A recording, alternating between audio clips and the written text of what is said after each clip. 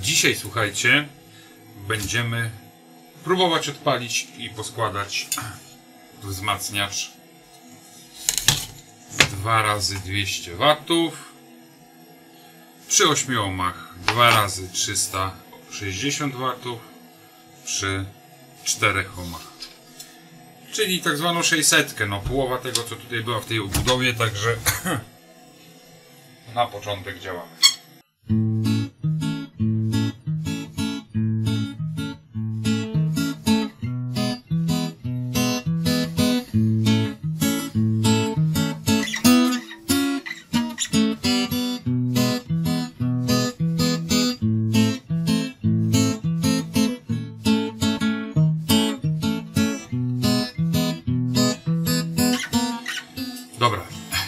widzicie, słuchajcie, przygotowałem y, baterię kondensatorów plus mostek prostowniczy 40, 35 A. Aż. Nie wiem, czy aż tyle będzie potrzebne. Z transformatora z tego akurat wychodzą dwa napięcia. Jedno to jest napięcie sterowania y, włączeniem opóźnienia załączenia. Dziwna sprawa. Czyli tak zwanym miękkim startem. Y, jak trafo dostaje najpierw przez rezystor miękki start, przez rezystor, później tutaj wszystkie te kabelki pójdą wek, to nie będzie tak.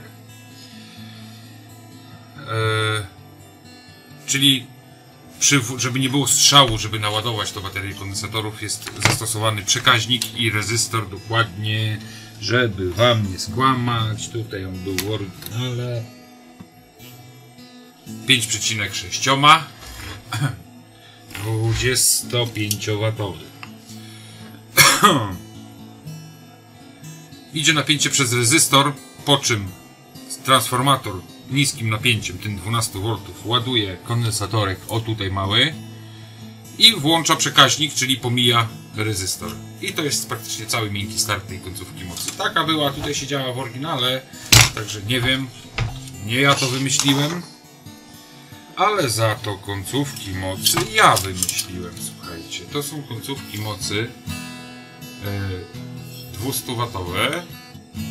Były już kiedyś u mnie robione. E, znaczy było, był filmik z tych końcówek mocy. Tutaj siedzą cztery ruskie tranzystory, słuchajcie. Tutaj farba trochę z nich odeszła, no bo one dostały już piernicz. I ostatnio przed włożeniem zostały wymienione te drivery. E, Teraz siedzą emioty 340, 338 bodajże, czy 339, czy 341 i 340 NP, NPNP. Dokładnie nie pamiętam, bo już trochę czasu minęło od tego, jak składałem te końcówki. E, Wczoraj poskładałem tą baterię kondensatorów. E, W sumie jest tu 20, e, 12 kondensatorów po 2200 na stronę, czyli e, 26 400 na stronę filtracji. E, Na 63 V, tutaj kilka jest na 50 V w zupełności, to powinno to starczyć, bo strafa wychodzi 2 razy 39.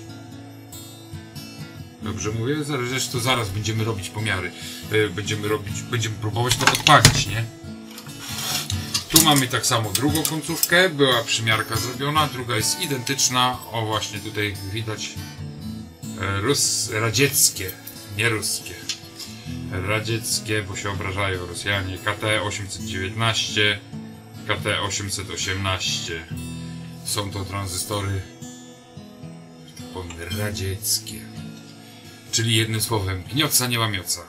Dobra, bierzemy się do roboty.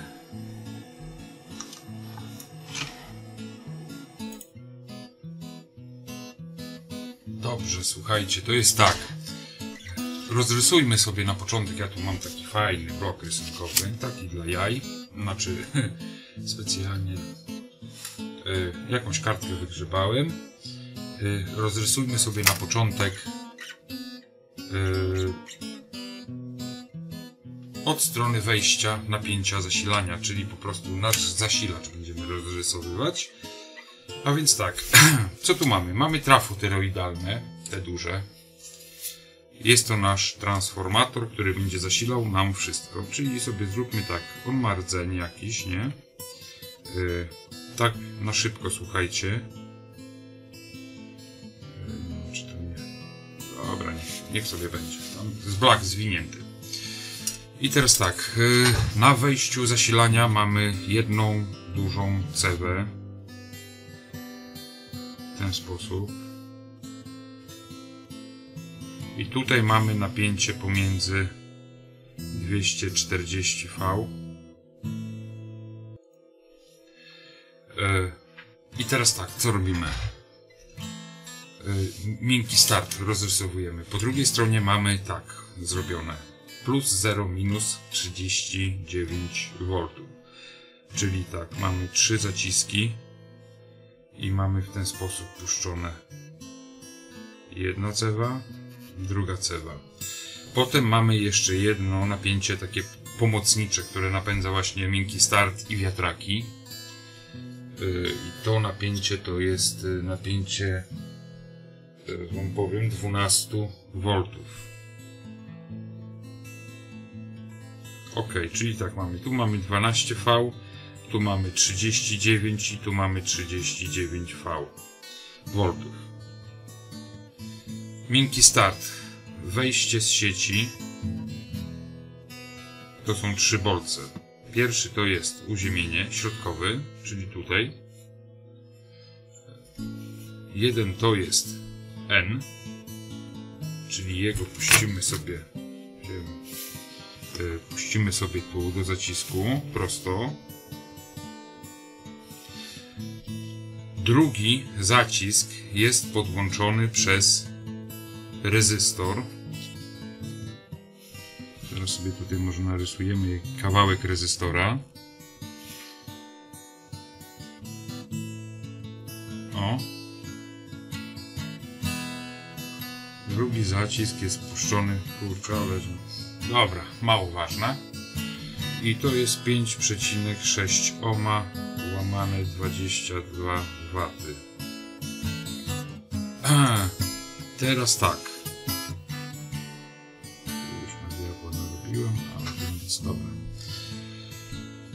Puszczamy. Mamy przez rezystor ładowanie. Tutaj na pewno będą kondensatory, właśnie o te. Czyli tak, czyli mamy dalszy ciąg, żeby nie obciążyć tutaj za, za bardzo, to puszczamy przez rezystor.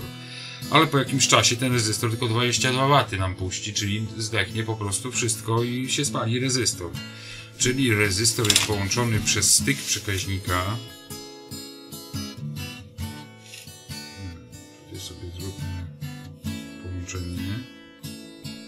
Styk przekaźnika. O, styk jest oczywiście ro rozwarty. Który idzie tutaj. po niespełna sekundzie, nawet niecałej sekundzie, powinien ten styk się zewrzeć i puścić nam napięcie bez rezystora. Z 12 V yy, mamy cewkę przekaźnika oczywiście, nie? Tutaj sobie zróbmy ceweczkę przekaźnika. O! Który będzie nam to zamykał. Ceweczka przekaźnika jest zasilona przez rezystor i przez diodę. O właśnie, w ten sposób. Drugi koniec ceweczki jest masą układu powtórnej, po stronie wtórnej. Czyli gonimy go sobie, no masę to możemy sobie minus, znaczy, no dobra, niech będzie tak, minus. To jest praktycznie ta sama masa. Masa bolca, uziemienie obudowy. I teraz tak, no dobra, puszczę tu napięcie, to momentalnie mi to się zawrze, to się zewrze i puści prosto napięcie bez rezystora, nie? Musimy to opóźnić, a opóźnimy w ten sposób, że tu do cewki jest dołożona dioda zaporowo, czyli jeśli ta dioda jest w to, no to ta musi mieć w to. Czyli tak, tutaj katoda, tutaj anoda, tutaj katoda, tutaj anoda. I dodatkowo wystąpi tutaj plus. Wstawiamy kondensator elektrolityczny. Źle narysowałem, ale to nic. Tu mamy minus kondensatora, tu mamy plus. Kondensatorek, który tutaj jest wstawiony, to jest 220 mikro, tak? 220 mikro. 200, cewka oczywiście na 12 V, 220 mikro farad na 16 V. Dobra. Mamy praktycznie miękki start. Ro- Rozrysowany nasz miękki start transformatora. Tym, że teraz ciąg dalszy tego układu. Yy, Co tu robimy? Tutaj. Tu jest taki zwykły mostek mały zastosowany jeszcze na czterech diodach, czyli teraz tak. Yy, Stąd, z tych zacisków idą cztery diodki na mostek prostowniczy. Rysujemy sobie szybko mostek prostowniczy.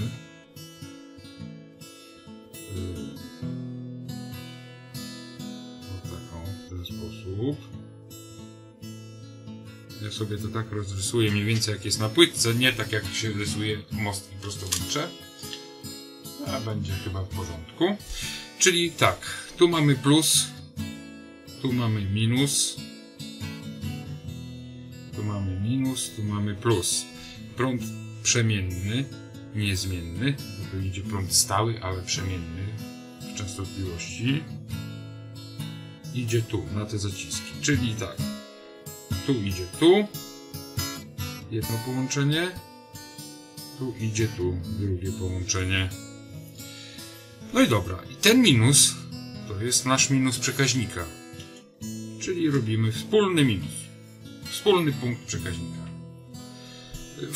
Wszystkiego. Wspólny punkt masy. Ten plus to jest nasza anoda. Tu, tutaj zrobimy sobie 12V plus. I tutaj sobie wyprowadzimy też taki sam pin plus 12V. No i dobra, i zobaczymy co się teraz stanie. Włączamy zasilanie. Zasilanie, przełącznik jest rozwarty. Ciśnie zasilanie, ładuje transformator. Transformator przekazuje 12 V, puszcza momentalnie to napięcie niespełna 12 V, ponieważ na pierwotny mamy rezystor. Te 12 V trafia na e, anodę tej diody, idzie przez rezystor. Ten rezystor jest tutaj, był przynajmniej dobrany, to jest 180 ohmów. 180. Od tego rezystora zależy nasz czas ładowania kon- kondensatora. 180 ohmów. Przez to ładuje się plus, minus kondensator. Tutaj dioda, jak widać, zaporowo działa. I nam nie puszcza przekaźnika, czyli idzie napięcie przez kondensator. Idzie napięcie przez kondensator, kondensator się wyrównuje napięcie do 12 tam z kawałkiem voltów, no bo po filtracji dodatkowej kondensatora mamy troszeczkę więcej. Pierwiastek z dwóch napięcia 12 voltów. I włącza nam przekaźnik. Jak przekaźnik zewrze, to już idzie wtedy pełne napięcie tutaj i trzyma nam przekaźnik zwarty. Mamy miękki start. Dobra, co dalej? Tu mam trochę dziwny mostek zastosowany, ponieważ to jest troszeczkę inny mostek. To są, e, mostek jest zrobiony na jedna półka sinusoidy na jednej diodzie i dwie na dwóch ano, a- od, odwrotnie podpiętych anodach. E, To są takie same, tylko w innej obudowie siedzą, dlatego to tak wygląda, ale są takie same diody, a dokładnie to są diody MBR 4045 PT. A to są ST. Mała różnica, słuchajcie. Dobra, rysujmy sobie te diody. Jak to ma wyglądać? Yy, czyli tak, pierwsza dioda, znaczy na schemacie to to wygląda w ten sposób. Tu mamy jedną diodę. Tu mamy, to mamy jedną diodę. Tu mamy katody. Tu mamy jedną anodę, drugą anodę. I to jest nasza ta pierwsza, pierwsza dioda. Pierwsza dioda. Ok. Rysujemy jeszcze dwie takie, bo jeszcze mamy dwie obok takie same. Czyli robimy tak. Yy, anody. Katoda. I jeszcze jedna taka sama.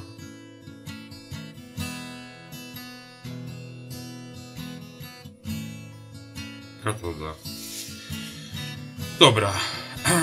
Filtrujemy te napięcie.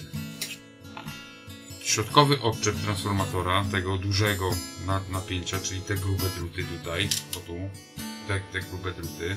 Tu są cztery takie druty, bo są dwa uzwojenia niezależne. Je trzeba będzie połączyć właśnie, spiąć tak, żeby tutaj był tylko odczep, czyli tutaj polecą w tym miejscu po prostu dwa druty, nie? Dwa, czyli mamy cztery druty stracha. No dobra, okej. Okay. Środek idzie bezpośrednio, oczywiście, gdzie? Do masy. Wszystkie masy tutaj tych układów, wszystko będzie punkt centralny. Ja sobie wydumałem, że tutaj gdzieś sobie, bo to jest płytka miedziana, ja to sobie jeszcze odkręcę, ładnie zrobię taką podkładkę i do tej płytki miedzianej będziemy lutować wspólny punkt masy. I to będzie nasz wspólny punkt masy. Reszta mas będzie się rozchodzić właśnie tylko wyłącznie z tego punktu. Czy głośniki podpinamy, to też z tego punktu masy bierzemy. Czy wejścia podpinamy, z tego punktu wszystko bierzemy. A tylko z tego powodu, żeby nie stworzyć w środku, wewnątrz, takiego shitu, jak jest pętla masy, że masa idzie w koło po wszystkich układach i się zamyka gdzieś tam i robi w głośnikach. No to o to mi chodziło. No dobra. Teraz tak. Tu mamy wspólną masę. Musimy to zrobić jak zwykły mostek, czyli puszczamy sobie te dwa przewody, y, dwa, dwa końce zasilania, czyli jeden koniec zasilania. Oj, przestaje pisać. Drugi koniec zasilania. I filtrujemy sobie całe napięcie na katodzie, na anodę pierwszej diody D1. Napiszemy sobie tutaj D1, D2, D3. Bach, jedno napięcie, drugie napięcie. I co my tu mamy? Tu już mamy plusa, który nam wyjdzie dalej na baterię kondensatorów. No dobra, ale druga połówka, nie? Trzeba jeszcze minusa znaleźć. Czyli łączymy w ten sposób. Tą katodę i tą katodę łączymy z tymi anodami. Czyli jedziemy sobie dalej. Od tej anody mm, do tej katody i od tej anody i do tej katody. Dobra. No dobra. Ale dalej minusa nie ma. Czyli łączymy sobie te dwie anody. Tu po jednej diodzie zostawiamy. Tak przynajmniej jest w tym układzie. Łączymy sobie te anody i stąd, panowie, wyciągamy minusowe, minus 39V. Tu mamy plus 39V. No dobra, a skąd te 0? No 0 to jest nasze 0, no z transformatora, czyli nasz wspólny punkt masy, tak jak na tym teroidzie. Wspólny punkt masy robimy sobie w ten sposób. Mamy 0. No dobra, już mamy te trzy napięcia po mostku, no to teraz robimy baterię kondensatorów. Baterię kondensatorów wstawiamy, tu ja sobie zapiszę, że te wszystkie kondensatory, one są po prostu e, jako, jako, jed, jako dwa kondensatory tutaj, one są połączone jako dwa kondensatory. Jeden i tutaj między środkiem a tym drugi. Czyli robimy sobie tak. Mm. plus, minus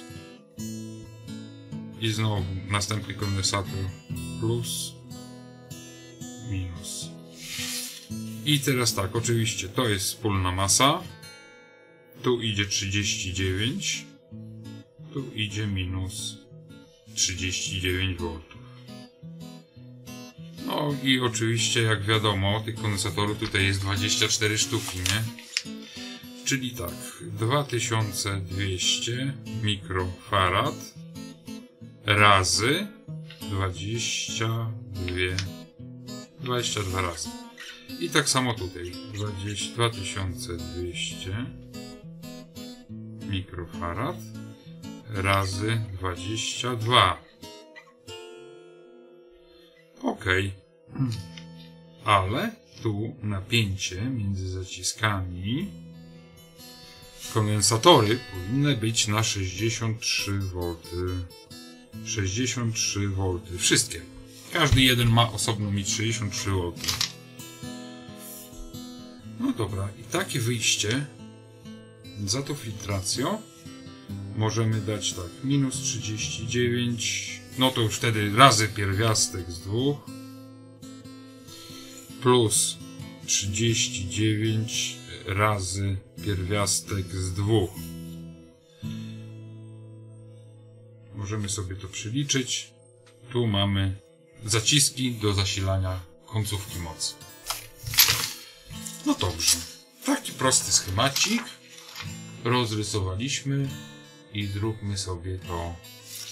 Tutaj sobie jeszcze y, dorysujmy, żeby wiedzieć, żeby to na pewno jest więcej niż jedna sztuka. A dokładnie jest tyle. Kądziorków. Tu część jest na 50 V, ale to praktycznie nie gra roli, bo po filtracji jest na styk. no zobaczymy, czy to nie będzie petardy na święta. Nie? Przy wysokich napięciach, słuchajcie, trzeba uważać. Hmm. Nawet już przy tych napięciach na pierwotnym już trzeba uważać na te kondensatory, bo może być surprise. Także nie róbcie, dopóki nie macie papierka z zaświadczeniem, że za to odpowiadacie. Czyli nie róbcie tego sami w domu. Lepiej to zlecić komukolwiek, komu, kto ma jakieś tam doświadczenie. No dobra, mamy sobie taki mały zasilacz. Teraz tak, jeszcze tego zasilacza tu są wypuszczone od plusa i od, od masy naszej są wentylatory wypuszczone. Akurat tych wentylatorów jest dwa. Tu mamy plusy, tu mamy minusy. Plusy oczywiście idą razem ze sobą i to idzie przez termik. A termik jest zamontowany, będzie, jeszcze na razie nie jest tutaj zamontowany, tutaj będzie na końcówkach mocy. Oczywiście są dwa te termiki, można wpuścić to niezależnie, ale tutaj akurat są dwa naraz wentylatory regulowane, czy lewa, czy prawa końcówka, bo termiki sobie założymy na, yy, yy, na ten, na radiatory. Czy lewa, czy prawa, oczywiście dwa wiatraki naraz reagują. Czy jeden, czy drugi termik, czyli tutaj mamy założony drugi termik, już równolegle. O. I to jest nasz plus 12V. Minus oczywiście jest też równolegle. I to jest nasza masa. Wspólna masa, tam właśnie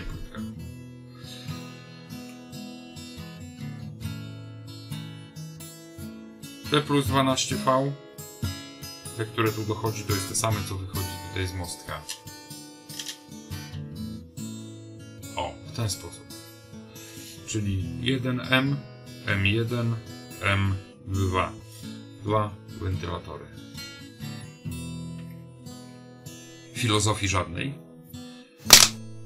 A wykonanie może się okazać mało bezpieczne. Działamy. W następnym odcinku będzie pokazane, że tak powiem, i zrobiony delikatny pomiar yy, naszego zasilacza do końcówki mocy. No i w nas jeszcze w następnym odcinku będziemy przeciągać trochę. Yy, po prostu musimy sobie dograć yy, ostatni projekt przed Sylwestrem. Ponieważ na Sylwester tutaj szykowałem coś, już mam tu parę materiałów, także Sylwester mamy już 12 godzin materiału. To nie jest dużo, słuchajcie, bo jeśli chcę puścić live'a na Sylwestra i po prostu sobie iść gdzieś na imprezę, takiego ala live'a, czyli wiecie, no, premierę. Yy, to muszę mieć dużo więcej tego materiału, żeby zmontować to przynajmniej w te 5-6 godzin, nie żeby tam od 18 do północy szło. Dobra. to tyle z mojej strony na dzisiaj. Dziękuję za obejrzenie, dziękuję za łapki w górę. Na koniec taka, e, ale nie, nie, nie będę się nabijał. Dobra, pozdrawiam. Na razie. Dobra, to jeszcze na koniec powiem tak. E, Komentarze zostają pod filmem e, wyłączone. Oczywiście pod tym ostatnim filmem, który właśnie jest jako ostatni, są te komentarze, możecie pisać. Ewentualnie wszystkie komentarze w formie głosowej właśnie robimy e, za pomocą aplikacji Zello. Wchodzimy, instalujemy aplikację Zello, wyszukujemy kanał Piracz, a już w niedługim czasie, po nowym roku na 100%, e, zresztą już pracuje e, domena e, piracz.pl. E, Jeśli wejdziemy na to piracz.pl, będziemy mogli sobie bezpośredni kontakt mieć przez tą domenę, ale w tej chwili jeszcze, jeszcze to nie działa, także już w niedługim czasie. Do tej pory mamy takie właśnie taką aplikację na telefon, możemy sobie zadawać pytania w postaci Halo, halo, czy mnie słychać?